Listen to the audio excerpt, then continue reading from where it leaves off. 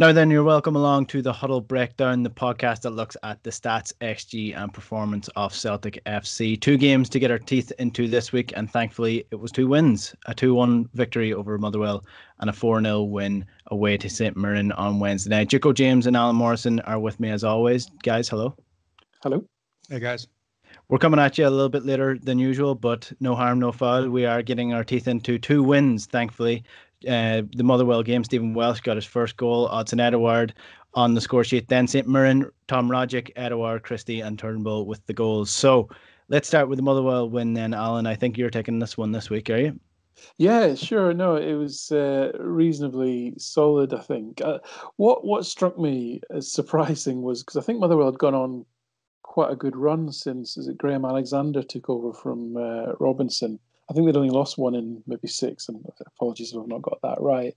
So I was expecting a much kind of harder game, I suppose.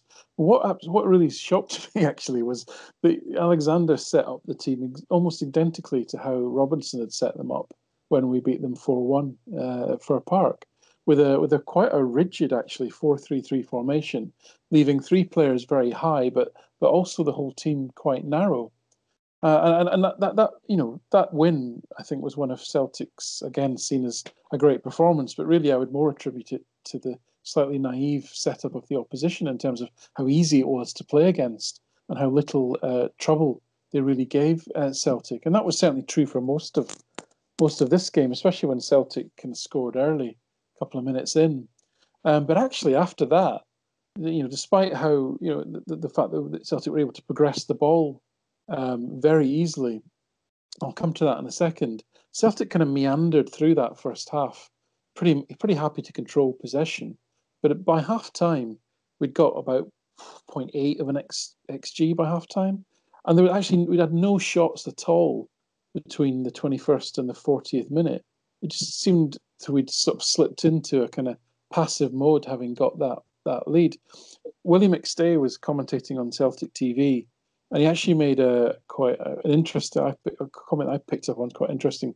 I think he said um, there's a lot of repetitive moves, and, and, that's absolutely right because the fullbacks were always free in this formation, and and and, and they the fullbacks received an astonishing 55 pack passes between them, i.e. The, the, the, either the centre backs or, or or usually Scott Brown was able to find them and take out that front three um, with a single pass um, 55 times. Now, actually, 38 of those times, it, the, the, that one pass took out the, you know Cole and um, Watt and Long that were their their sort of front three. And, and the reason I say it's kind of naive is because the problem with that is once you've made that pass, that means you're essentially accepting the fact that the fullbacks are now pushed on, or Brown might have been pushed on. You're essentially playing 7v7 in your own half. Now that's quite a lot of space to control with very few players, and that's why I think it's a really uh, problematic way to play, and a really problematic uh, way to um, to set up. The other thing that surprised me about how Motherwell played was that given that they had three fairly physical players up front, they never, very rarely actually launched long balls in, in their direction to try and catch Celtic on the counter. Given the fact that both Celtic fullbacks were given license to bomb on, you know that ball was always on in, into the corner, and it, it, virtually never happened. So I just was really stunned by the way that uh, the way that Motherwell played. Credit to Celtic, I do have to say, is that when they came out in the second half, really kind of um, racked up the chances. Uh, so between the half time and the 60th um, and the 60th minute, which is when nearly when you know Motherwell started to score, we really racked up nearly another extra one one x you know xg in that period. Quite a few good chances. Obviously, the, sec- the second goal arrived quite early, and it looked it looked to be honest like a pretty routine win uh, at that point. And then of obviously you know Motherwell scored I think around the 66th 67th minute, um, which was a bit of an odd goal. Um, you know, Brown as the six should have been closing Campbell down. He was allowed to run forever, and then as he hit this really fluky shot that kind of looped up over over Bain. But where where where I think there's a then I want to sort of touch on is uh, Lennon in his pre-match uh, against St Mirren made I think quite an interesting comment. He said when he, when he was asked, "Were you were you were you um, happy with the way the team had played against uh, Motherwell?" and he said, "Yeah, I was happy for the first seventy minutes." And I and I was and I watched the game back. you know, again, you got the impression that, oh, if Celtic controlled the game, it would have been easy. Then Motherwell scored this kind of goal from nothing. And then suddenly it was all hands to the pump. And it really wasn't. You know, after Motherwell scored, they had a bit of a flurry of activity where they suddenly played at a slightly higher tempo and they went a bit more direct. But that sort of, you know, that sort of momentum didn't actually last for very long. It petered out pretty quickly.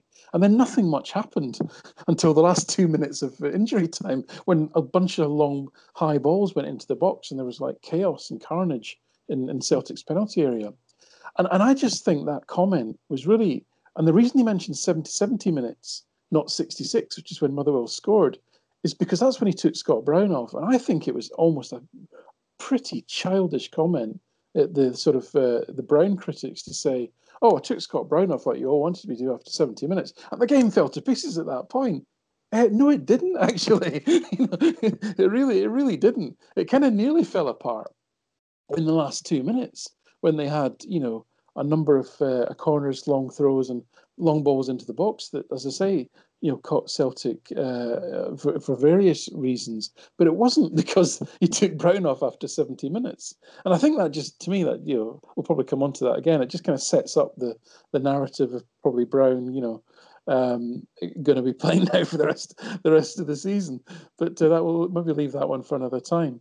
So I think if you look at this game, you know, the, the really the, the thing the thing that again I was a bit cross about Lennon was was on the substitutions. Because I'm thinking, if you really want to close a game out when you're two one up and you're feeling like the other team are coming into it a bit, the last thing I would do is bring on Elyounoussi, Griffiths, keep Rogic on, and by the way, let's introduce Laxalt. I mean, four more randomly chaotic players. I couldn't. Could, it's hard to imagine. If you really want to control a game, those are not the players that you really uh, want on the pitch. A midfield of, of Elyounoussi and Rogic isn't going to exert defensive solidity and control. You know, mm. Laxalt, when he cleared the ball off the line in the last minute, was marking Cole in the centre half position when the ball came across. And that's the only reason he was then able to clear the ball off the line. He'd already given the ball away twice in attacking situations. Once when he got the ball wide left, and he just sort of meandered, didn't didn't look for a teammate, didn't cut back play the easy ball back, start again. He just kind of lost possession, which is kind of what he does. So the so uh, the substitutions didn't help, but but the, but the narrative that Celtic fell apart after 70 minutes, to be honest, just wasn't wasn't the case. The other point I'll mention that was interesting about this game is the the refereeing from Walsh was quite a performance. I, I was at the time I was well, kind of last two games have been like that. Alan. Well, there, have been some refereeing. no, I, I, so I went through it. I went through it. Right, I'm going to look at every decision and, and I'm going to really look at it and say, was that a foul? In the first half, he awarded ten fouls against Celtic. I, am I'm, I'm going to be generous and say four of them, only four of them were absolute nonsense. Mm. He, he missed he missed a trip on Ajeti. Uh, I say missed a, blatant trip on Ajeti just before half time as he as he was coming away from goal that was, wasn't given, and then Turnbull was pulled back in the box, which he didn't give either. Um, you know, the, the the the one of the one of the um, one of the sort of scare moments for Celtic in the second half was when Mugabi actually pushed Brown with both hands out the way and got a free header, and everyone's like, "Oh, another ball into the box that's not been defended." Mm. And then, of course, the Soro non-red card was just an astonishing decision, actually. Um, he did get one decision, I think, in Celtic's favour wrong. I think Soro should have got booked when he took out um, Long, who was breaking, and Soro just, just cleaned him out on hmm. halfway. Mm. That was an error. But, but you know, again, um, he's a third of Celtic's fouls. 16 fouls Celtic were awarded. Any contact at all uh, from, from, on a Motherwell player seemed to generate a, a foul. It was an astonishing performance, one of the worst I've I've seen actually, and that's why I went through and thought I'm going to verify each of these and really, really try and say, is that really a foul or, you know, oh, just just appalling.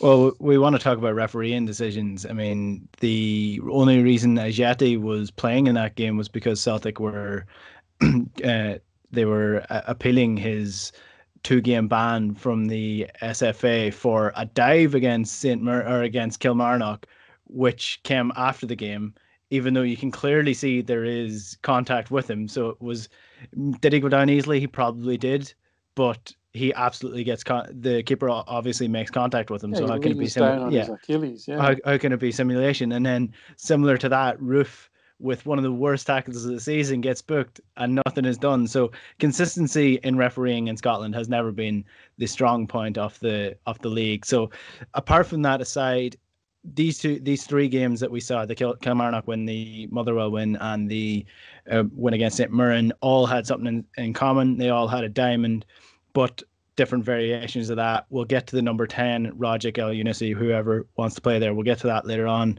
Jonjoe Kenny is also something that they all have in common. His first games for Celtic. Alan, first impressions on him?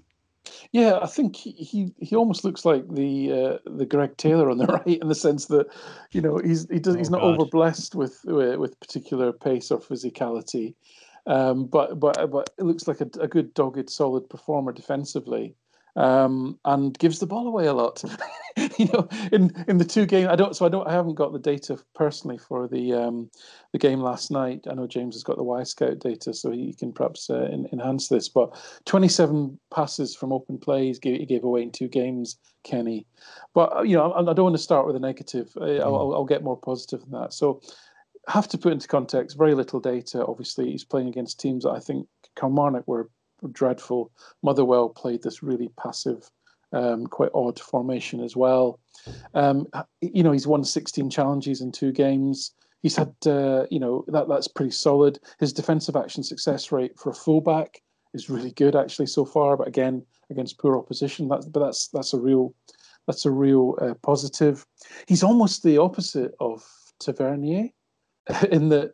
I always, I've always had this weird thing with Tavernier where he looks like a really quite quick player when he's moving forward, and then he looks really slow when he's trying to recover. And uh, um, Kenny looks the opposite to that. He's a little bit ponderous going forward, but his recovery speed uh, going the other way and, and uh, is actually really impressive. And he's he's made a number of tackles uh, on the on the recovery, which he's going to have to do with this system where the fullbacks kind of both uh, both bomb on. The one thing that was kind of irking me a little bit in the Motherwell game was the amount of time he had space in front of him that he didn't take. I kept saying, I kept, I kept shouting to the TV, you know, take the space, take the space, and he would he would have space in front of him, no one really closing him down, and he would just kind of look inside. On the positive side, he's got this quite interesting thing, which actually Bolingoli's got, where he plays these really nice inside angled passes, which I like. So kind of low passes that are that are forward but diagonal. Um, I like that, and because they're quite interesting angles, and they're not they're not the usual run of the mill passes that people make. Taylor's a little bit um, predictable. Although what I've noticed with Taylor in the last few games is he's really he, he seems to be focusing on the the Tierney cutback. The number of low cutbacks that Taylor's now making, uh, especially with the, the midfield, the, you'd expect the midfield support to be there. It has increased, which I think is a really good sign. But back to Kenny. Uh, again, there's a bit of a mixed story here. He's been successful f- by my stats in one in 16 crosses. That's not great. But on the other hand, he has created four chances. 0.43 expected assists over two games is pretty decent. Three secondary assists is pretty decent Mhm. as well. And his receiving impact, so that's like receiving forward passes, as we talked about, is he's scored over 100 in that in both games, which is quite astonishing actually. But I think that more reflects the style of the opposition than it does his ability to find space, but in particular. So, Mhm. long story short, I'm kind of enthusiastic because I think from a defensive perspective, he looks like a pretty solid customer who knows the right back role and is going to keep the shape in a defensive uh, formation. And I think uh, going forward, he's, he's offered enough.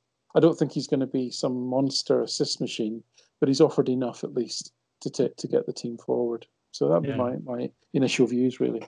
Well, hopefully we get to see more of him, and that data will become more clear as he plays more for Celtic as well. Hilariously, this is a complete side story. I started a football manager career. I just downloaded the new game, and Oh. I, t- I I took over Celtic. I said enough complaining, time for some action. So I took over Celtic, and uh, first thing I did was take the captaincy off Scott Brown, give it to Cal McGregor. That that went down h- horrendously, but we still have we st- we still have Jeremy Frimpong and uh, Diego Laxalt playing for Jeremy Frimpong still in the squad because the start of the 2021 season. And uh, the first game of the season against Hamilton, he had 16 he he had 16 crosses and none of them were accurate at all. He had, he had a, he had a 2% crossing uh, accuracy at the end of the game, which I There thought was hilariously accurate. So one out, one out of sixteen from Kenny is an upgrade, right? Yeah, exactly, exactly, exactly. More more to come from the football manager stuff uh, over the course of the season. Anyway, James, you're you're waiting in the sidelines here, so let's get into the St. Mirren win. Obviously, an upgrade on the St. Mirren loss a couple of weeks ago. A very boring four 0 win.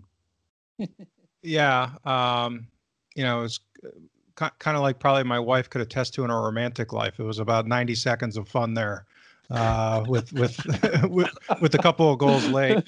Um, poor poor woman, been enduring me for this long. But um, so yeah, I mean, it, for the first 55 minutes, um, I actually put summarized it in my thread this earlier today. Uh, I think it was Wyscout had it at about I think 0.68 for for St. Mirren in uh, in xG, and I think 0.29 for Celtic. Uh, so I know Lennon talked about you know giving them a good tongue lashing at halftime, um, but that didn't certainly didn't do anything for the first 10 minutes of the second half. And then we finally um, had a couple of chances. The big one with with Edouard that was saved. That was a very high xG. It was right on the six yard line or right outside of it, I believe. Um, that uh, Alnwick made a or Alnwick made a, a, very good save, and then that kind of unleashed things. I don't know if uh, St. Mirren fatigued, or I, I, didn't really pick anything up tactically that shifted, but uh, we, we, really started to take over the game at that point. And then, you know, from the penalty forward, uh, we, we had more control. I think that the, the biggest uh, disparity between the St. Mirren game and the prior two with Motherwell, uh, just go back to the Motherwell game in particular, just to kind of highlight what, what, what Alan had said on the passivity of, of Motherwell. I, I almost thought of it as kind of a, um, an Ali rope-a-dope versus Foreman um, because they really, I mean, it was, I, I can't remember watching a game where a team played that passive. I mean, it was, to me, it looked obvious that they were conceding the ball to our fullbacks, thinking that they weren't going to do anything with it. And so I, am you know, and trying to give Alexander, is that his name, Alexander, some credit, yeah. you know, trying to think about what the game can, game plan could have been. It would be, well, you know, let's let Brown and the two fullbacks who don't have a great track record of creativity, um, you know, have the ball. I mean, that picking if you're going to pick your battles, I'd rather have them on the ball than Turnbull or or Rogic or or Edouard or McGregor, um, and and have them out wide. And then there has been a, I would argue, a, a pretty distinct trend in um, games where Brown is playing kind of post halftime where um, you know we've seen it kind of over and over again, where teams that kind of pick up their uh, pressing and and push things a little bit more, uh, the, the game can turn into a bit of a uh, chaotic mess. Um, and that's I, I, documented this in my post game thread after Motherwell that you know I, I actually identified 16 distinct uh, uh, periods of play where we were you know very vulnerable had a better team had the ball you know, I, I put it analogous to like a Sparta Prague, you know, a team that of least functional quality on the ball. Uh, whereas, I mean, Motherwell had the ball a lot, even in the first half, the last 15 minutes of the first half, in relatively dangerous places in transition, you know, and that's been our big problem when Brown's played, it's been defensive transition. And they just would, you know, lose the ball or pick the wrong pass or fumble it away. Um, so there, there, in the first 15, even before the goal, there was about 15, 20 minutes, um, well, 15 minutes of that second half that had turned into a bit of chaos.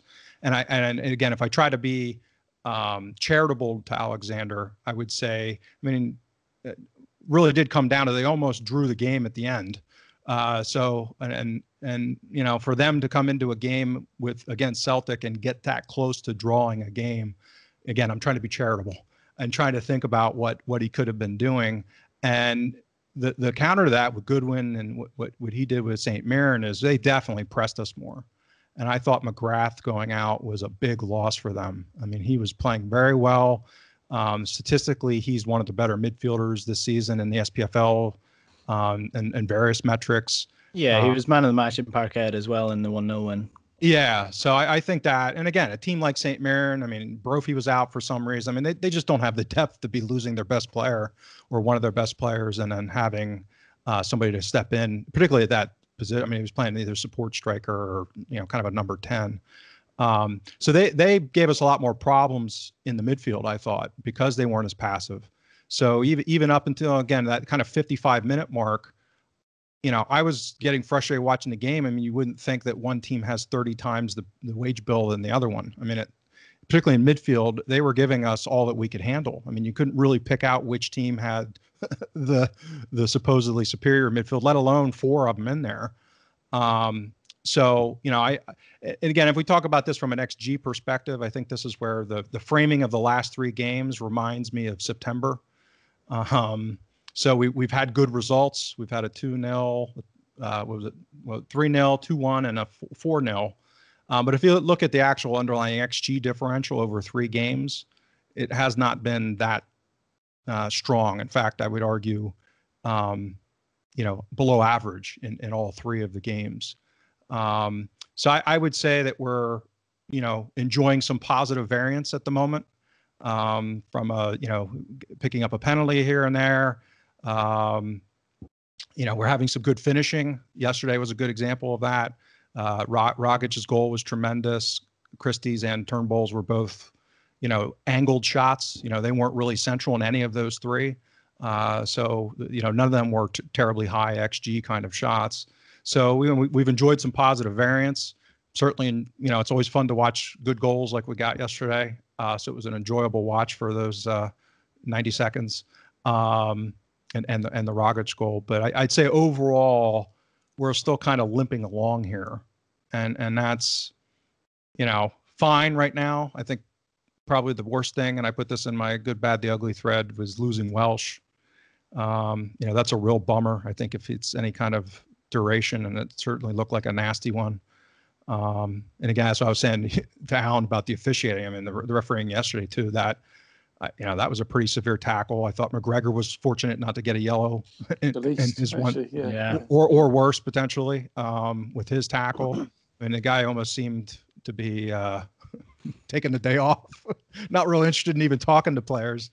Um, so yeah, I, I think uh, you know we're, we're we're still plodding along. I don't see much difference in kind of the post Dubai period here in in the quality of performances that we've been putting in. Um, you know, there's some excitement I think because people understandably are happy to have three wins in a row. Um, but that's again why I draw the draw the analogy to September, where yeah, they're they're wins, they're against relatively poor opposition, and the underlying metrics are, I would say, mediocre at uh, at best. Are you telling me that the warm weather training in Dubai in the middle of a pandemic did not have an effect on playing in Scotland in the middle of winter. Uh, you tell me it hasn't improved things. Uh, well, I, I, yeah. the one the one thing it did do is kill any chance at uh, put, putting in a rally in the league here. Yeah, well, that, that's the thing. So the the three ones on the trot that puts Celtic, Celtic within 18 points of Rangers with a game in hand. So that would assuming Celtic win that game, which I, I don't know if it's safe to assume anymore, that would put obviously 15 points within Rangers. The exact or almost exact amount of points that Celtic dropped in January up until now. So if action was taken like it should have been before Christmas, then we may not be in the situation that we are at the minute where these wins, like it's great to see, it's great to see Celtic going out and win 4 0 against St. and like they should. But I, I don't know about you guys, but I don't really get that excited when Celtic win games anymore at the minute because I know that it has no effect on the league title. Yeah, I know what you mean, uh, and it's uh, and that sounds incredibly spoiled in some yeah, respects. I, I, I and I'm very, I'm very, I'm very aware of that. I kind of, I can't be lying if I said I was jumping around the living room with each goal last uh, last night, of course, um, because like you say, it's, it's almost in fact, it's almost like you know, if we win, what if, what if we win ten in a row? Is everything all right? I mean, it, it, you know, and there's also the thing that you know, it just raises slight bits of hope. I mean, you were already. I thought. I thought you were. You were going with that in terms of counting down the points. It was going to be. Oh, and then if we win, if we beat them twice, then it's be this number. And I'm thinking, don't kill yourself here, right? No, you just, God no. You're, you're going to kill no. yourself with with false hope here. Um, my you know, hope so, has so, been killed long ago. Yeah. So to me, to me, I mean, it went a long time ago. So I'm kind of reconciled to that, and I'm sort of made my peace with with God in that respect. but um, you know, so I, I really, I'm, but but I, I feel that I'm looking forward, but nobody else in terms of Celtic FC really are looking forward. So I think I do feel like we're still in this limbo, and these wins. Um, are interesting. You know, I'll study the game. It's, I'm, I love it, loving all the stats and some nice goals last night. Christie's finish was a beauty, um, but what does it actually mean? And I yeah. do feel like almost in this purgatory a little bit in that respect. I, I think the other part of that is, I mean, we've got um, four players playing at least meaningful minutes that are lone players. Yeah. Uh, that'll increase now probably with Welsh's injury. Um, uh, with with I would guess Duffy probably coming in, maybe Bitton if he's not in in Israel by then, um, as has been rumored. But then you've got, you know, for whatever reason, um, Brown seemingly back as first choice he's probably you know heaven help me if not if he is still a long-term plan player but uh, I, I may not be able to make it much longer if that happens but uh, analytically anyway. Um, uh, and then you look at you know is Christie going to be here? Is Ajer going to be here? Edouard I mean you're you're talking about out of you know uh, 11 players. Bain's not the long-term answer at keeper most likely. So I mean how many of these players can we have any kind of real investment in? Um, yeah I mean, obviously we're rooting for we're rooting for them, but even a guy like Kenny, I mean, he's I agree. I mean, he's been you know just the fact that he's making intelligent runs and being positionally disciplined has been enjoyable to watch. Yeah so talk about uh, minimal standards. Um, minimum standard met yeah yeah and he actually whips the ball in nice you know he's got a nice ball he puts in uh, even though there's usually no one there. Um, so you know I, i've enjoyed watching him but it's like you know, for what's what's the point what's kind the of. Yeah. Yeah. So even even a game like yesterday where where Rogic, I would argue that was probably his I don't know. It's the best game I can remember from him in a while. I, I documented that in my thread this morning. I mean, he not only was he um, I mean, he was playing. That's the other thing that's been interesting. I think we'll segue into this then, Alan. Is um, you know, I I think it's a bit fluid, but I think the way they've set up with him and Turnbull in the same midfield is with Rogic as the eight which is interesting.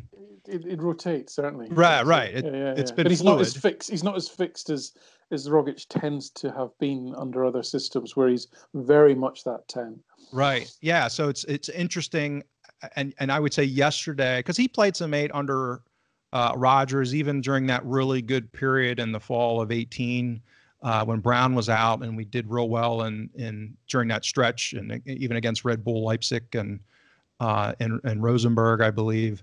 Um, he played an eight at that point, but again, that was already three years ago, mm-hmm. and and you know he's no even already he's not a spring chicken anymore, yeah. and uh, so that that was the fastest I you know, again we don't get tracking data, but that a couple of those runs he made that was the fastest I've seen him move in quite some time, and he, he even uh, you know, he won more duels than he lost, which is not all that common for him. I mean, he just had even a physically dominant uh, performance yesterday, which is unusual for him. You know, he usually flatters with the skill, um, but you know, to, yesterday it was like watching, uh, you know, a, a 17, 18 Rogic performance, and uh, you know that's why he's so easy to to like because there's that just great skill involved. And then if he's running and gunning like that, but again, is he a long-term answer at this point? He probably shouldn't be given his age and you know the likelihood of him not being able to keep up that kind of uh, athleticism for any length of time. So again, he's another one where it's almost like a, you know, it's, it's like a it's like a reunion. You know, you, yeah. you, you run into people and you're like, hey, you know, and it's like you, you cherish the memories and stuff, but not really much to do about the future. Yeah, well, that's one of the issues as well, and it sort of ties into the the broader point of what what does it all mean or what's the end game here? Because someone like Tom Rogic, who wanted to leave or was almost the club was willing to let go at the start of the season, are they playing well because they are revitalized or that they want to do well, or are they playing well because they want to play themselves back into form to get people noticing them again by the end of the season? And Tom Rogic is one of those players that I absolutely adore. I think he's an amazing talent, but he doesn't do it enough. So uh, that that would be my initial thoughts on the number 10. And if we're going forward with the diamond, we've played a couple of different variations of that. We played Turnbull as a 10, we played Rogic as a 10, we even played Elyounoussi as a 10 against uh, Kilmarnock, which makes absolutely no sense in my mind. But uh, is there data, you, Alan? I know you're kind of looking back at this. What are we looking at in terms of our number 10 going forward? Who's the best option? Yeah, so uh, I didn't fully answer that because I would have looked at Christie, but I was looking at Rogic and Turnbull really, um, because I think Turnbull uh, actually looks comfortable as an eight or a ten. Rogic, I think, is really. I know he has fitted in at eight occasionally, but really, I think he's he's he's a he's a almost an old fashioned throwback, that classic number ten you know um, luxury a luxury yeah yeah definitely. So i wanted to kind of compare those two. So the one thing i did do is i, I just stripped out all the set piece set piece play because i think turnbull is and, I, and I'm, i don't know if this is true because i don't have the comparative data but Turnbull looks like he could be like elite level set piece provider, you know, in terms of his, his, his ability with corners and free kicks. Um, the number of chances he's created is phenomenal. So I stripped that out because Rogic doesn't take free kicks. I've just looked at really open play. The first thing I would say is that Turnbull is simply a lot more involved than Rogic in the game. I mean, the fact that Turnbull completes around 48 passes per game and Rogic 29 just tells you that Turnbull, you know, for whatever reason, gets gets on the ball a lot more than Rogic does, and it's probably the fact that you know Turnbull has got a lot of time at eight, where he's probably getting he's probably coming onto the play a lot more rather than sort of back to goal, which Rogic tends to be. Um, but in terms of creativity, it's quite an interesting picture because actually, if you look at expected assists, um, Rogic is actually slightly ahead. he's, he's, believe it or not, he's got a kind of 0.32 expected assists per game from open play and uh, Turnbull's actually 0.27, so which that kind of surprised me, especially as um, Turnbull actually plays more key passes, and he he um, plays about um, four times, five times actually more passes into the danger zone. So Turnbull's providing passes into that central corridor in front of goal, um, you know, out to the 18-yard box. He, he's, he's providing about 2.4 of those a game, whereas with Rogic it's only uh, you know one every other game. So um, Turnbull's providing more key passes. He's providing more chances. He's providing chances in great areas, and yet Rogic is providing a higher overall um, expected assist rate from open play. Again, that's from open play. Mm. Can I, can I ask you something real quick, Alan? Yeah, yeah. Just just at a point of clarity. Um, so I I'm guessing then that those stats that you're referring to do not include last night. Correct.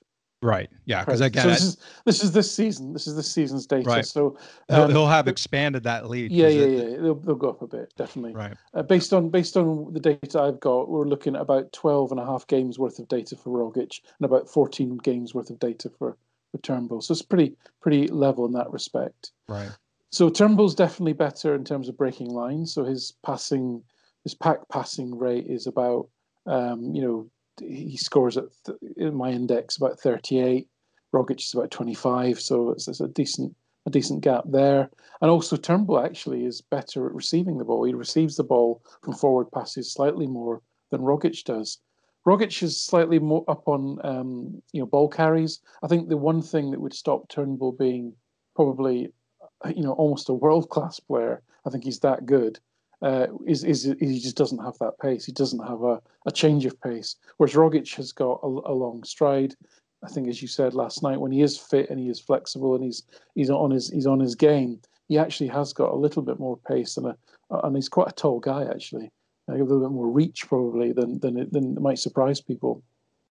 So I would say it's, it's quite an interesting picture. Then, all all if I look at all of the foundational data I would put Turnbull ahead as a more creative presence than Rogic. But when it comes down to the the killer stat of expected assists, Rogic has got the has got yeah. the edge. It's quite interesting.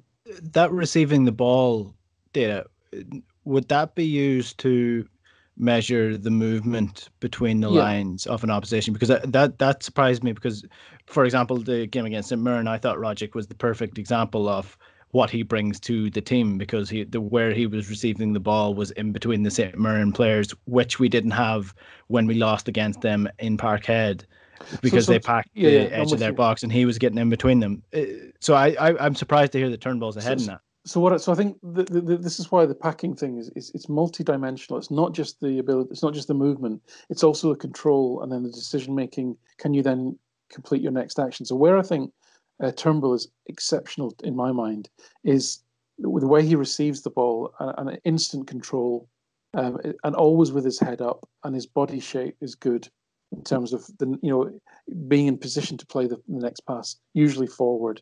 That that to me, if you saw that, if you were scouting someone, I saw that attribute in somebody, I would be watching them very closely because it's actually quite rare. Whereas with Rogic, um, he can miscontrol the ball. His body shape isn't always that great. He's not always got good balance. He's quite a big, bulky guy. If, if you look at stats for being dispossessed, Rogic is dispossessed twice as much as Turnbull. I don't think Rogic always makes good decisions. He's, he turns into trouble sometimes. He perhaps tries to run with the ball when he shouldn't. What I observe with Turnbull is his decision making is excellent. He, he won't he won't run and he will take space, but he won't he won't usually try and beat a man if he doesn't think it's on. And like I say, his body shape and his head up, his ability to control the ball under pressure with his head up allows him that fraction of a second to perform the next action. That will come through in that that packing stat as well. All those kind of attributes. If I go on to scoring, um, obviously Turnbull's probably got a few more goals than Rogic, but actually, uh, again, it might surprise you that um, if you look at again pure expected goals, it's 2.7 per game for Rogic and it's 2.6 for Turnbull. Very, very similar, but you might expect Rogic, uh, Turnbull's to be to be higher than that, especially that Turnbull takes so many more shots. Um, you know, Turnbull's taking. Um, sorry, I'm just looking. Turnbull take. Well, it's not. It's not saying lots more. Turnbull's taking just over three shots a game.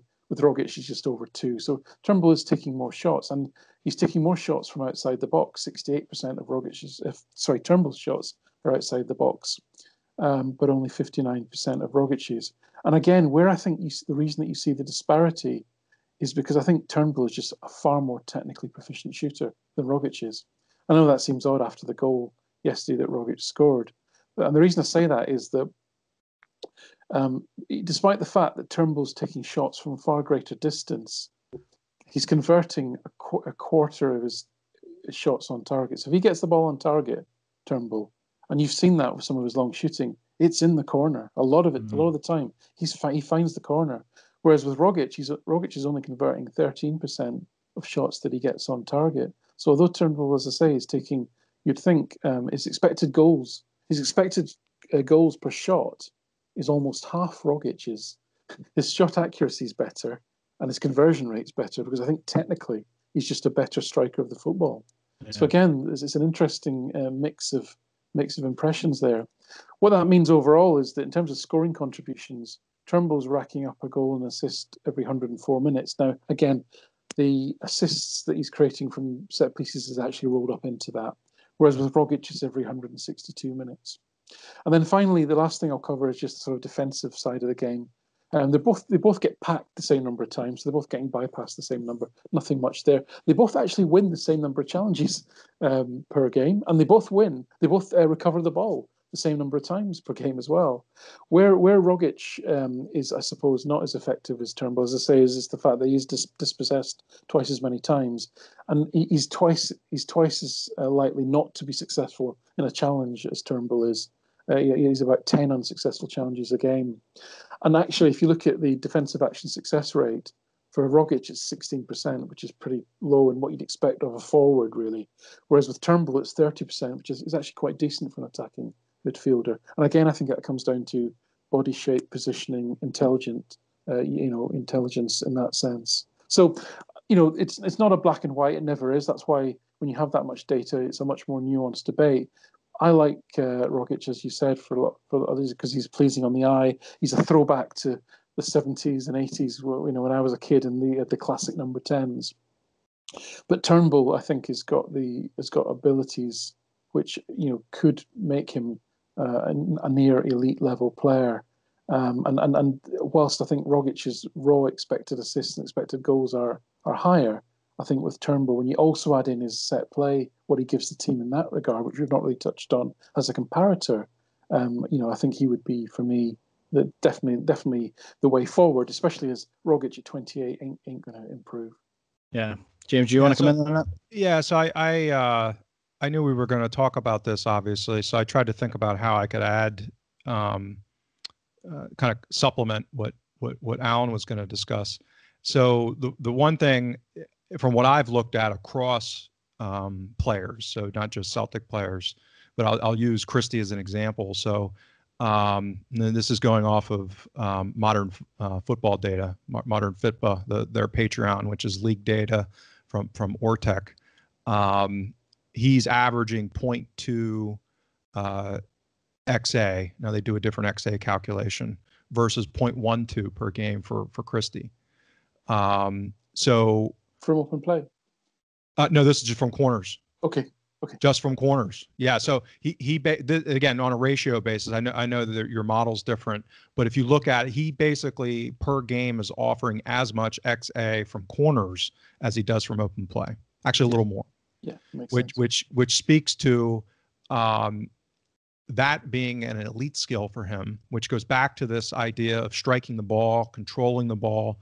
I mean, I do. I think his ability to control the ball is, you know, an outlier uh, in a, in a good way, and you know why anyone else is taking corners over this guy under any circumstances. This, this is where again there can be a bastardization of statistics, right? So if if if you know if you look at data and you say, oh well, in swinging corners are you know, 3% more likely than outswinging corners, then while we're going to have Christie do them because he's left footed from, you know, that side and, and Turnbull on the other. And it's like, no, no, no, no, no, no. you know, you, you, you, you've got an elite deliverer of the ball here. I'd rather have that person doing it um, because the, the marginal gain from that, him, him doing, even though it's, you know, not the the ideal in swing or outswing is is is more important. Um, and I'm theorizing that's why they're doing it. I, I can't come up with another reason why you would have Christie on it or or McGregor or you know Griffiths is a little bit different story because he's been very good as, in that as well. But uh, so that was the first thing. The, the second thing is I, I agree with Alan. He, he's a bit of a tweener for me, um, and that, that's a U.S. sports term. So he, he's he's not really a pure ten right now, and he's not really a pure eight. He's got the, a lot of these elements that make him both good and weak in both of those positions. And I think that the positive part of this is that um, where he is weak within the context of a 10, which I think is where he probably should be longer term, is it seems to me those are development areas and that they could be coached. So again, for context, um, to supplement what Alan has said, what I did is I expanded my purview to look at other uh, you know, forwards, particularly at Rangers, to see what kind of output they have as context. You know, so they they play a lot of tens or pseudo tens with their system, right? So you can look at a Hagi you can look at a Kent, you can look at a Arfield or a Rebo. At different times, they're playing in that kind of hybrid role where they're sort of an eight, they're sort of a ten, they're so, sort of a winger. You know, they spend a lot of time in that half space, um, and that's where Turnbull very much looks more like an eight compared to those players and Rogic. So when you look at, um, you know, uh, XA per key pass, for example, you know, it's kind of the equivalent of uh, XG per shot. You know, to me, that's a proxy for decision making in that last third of the pitch. So I agree with Alan. I think he looks like he's got elite um, ball control and decision making as a as a number eight. You know, kind of playing deep, he has tremendous vision and ball control and and passing from deep. But the numbers that I've been looking at suggest that his um, his ability to create for teammates and putting them in position where they're taking high xG shots is actually you know a good bit below that peer group. Um, so that's not necessarily a bad thing long term. Again, you're seeing that in his shooting as well. I agree with Alan. He is actually, it looks to me like he has an innate ability. And again, I looked at his data back in 1819 at, at Motherwell as well. He does seem to have a talent for shooting from range. But as we saw in the game yesterday, you have to be almost perfect to beat a decent keeper from 30 yards, even if you put it in the corner. I mean, it's just that's why the XG is two or you know 0.02 or 0.03. So even if he's 100% better than the average player, and he turns that 02 into an 04, it's still a 4% shot. It's not going to go in most of the time. So his XG per shot is actually lower than Christie's in the league. Now, this is not all the games, right? So he's taking a lot of shots from distance. um, and he's only scored one uh, from really outside the box, and it was a free kick. So again, if you get him inside the box like yesterday, same thing with Christie. I mean, we had two players that have problems shooting from range that finally took shots, even though they were angled. It goes to show that they do have very good shooting skills inside the 18, uh, where both of them are putting the ball on target over 50%. Um, so that that's that's very good, even when you're when you're angled. So uh, th- that's another thing. Um, the last thing I'll say is, and again, end of I, am not sure you'll get the time, but um, I, I, looked at the heat maps of. Um, so I'm able to do this in Wyscout. You can you can run the heat maps by position. So I looked at all of the minutes that um, at, that that uh, he's played at attacking midfielder as a number 10 in the SPFL. So there's a little bit of that at Motherwell. Um, most of it's at Celtic. And then I compared that with Rogic's all of his minutes at Celtic as a number 10. And then I compared it to his time only as a central midfielder between the two teams. So again, all of the SPFL minutes.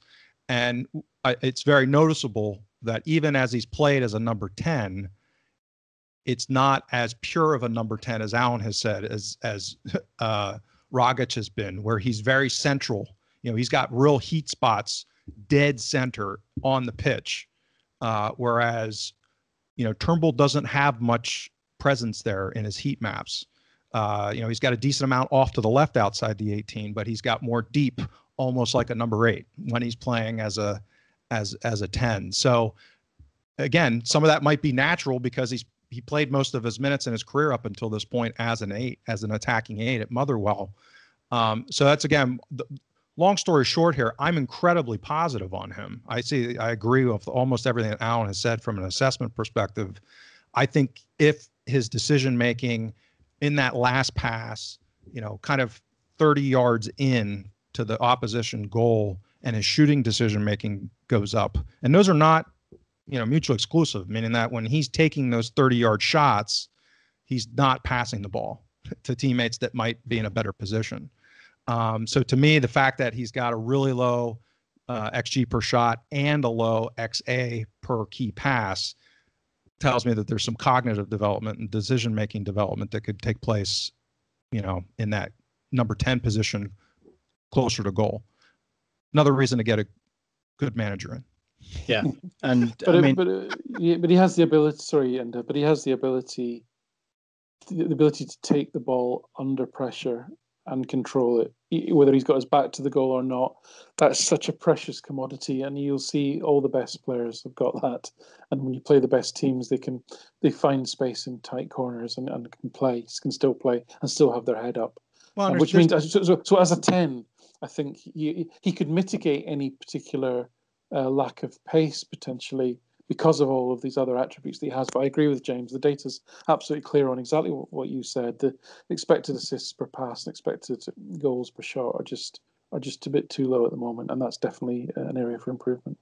Yeah, and and, and I, I would even say scary low. I mean, mm-hmm. they're they're at levels like I said that when your xG per shot is lower than Christie's, that's that speaks volumes to decision making. The, the other thing I will say is, you know, this comes back to kind of um, composition of a team. So, you know, I, I think he's such a good player that he he shouldn't be pigeonholed as a 10. I mean, he, he could easily play as an attacking eight as long as you have a, a good six, you know, a, a young athletic six playing and probably a young athletic eight on the other side that might be geared more towards box to box, box to box, you know, more like a Christie type or, you know, preferably even one a little bit more defensively um, uh, adept as, as Christie, uh, but someone that can run in with energy so that they can kind of complement each other. You know, you, you wouldn't want, you know, again, this is why we get these things with Lennon. You, you wouldn't want uh, a McGregor, Turnbull, Brown midfield three and a four three three uh, that kind of mix because you're you're not getting enough athleticism in transition.